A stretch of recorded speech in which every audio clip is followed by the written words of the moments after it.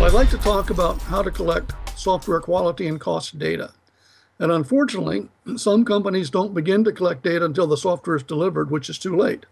Other companies don't begin to collect data until testing starts, which is also too late, because the number of bugs or defects in requirements and design is larger than the number of defects in the source code.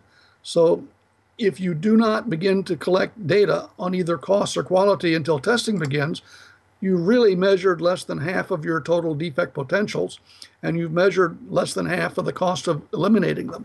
The sophisticated companies like IBM have full life cycle quality measurement programs that start during requirements and measure both the defects and the costs of requirements inspections, the defects found and the costs of design inspections, the defects found and the costs of code inspections or static analysis, and then the defects found and the cost of every kind of testing.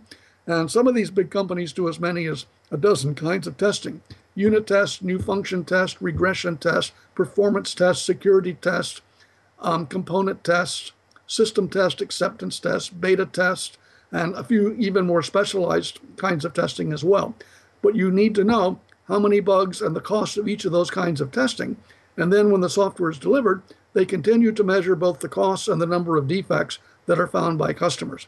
And so, if you really want to improve quality, and everybody should, you need to know the total number of defects from each origin, i.e., requirements, design, code, and so forth.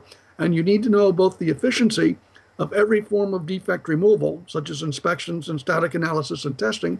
And then you need to know the costs of post release maintenance.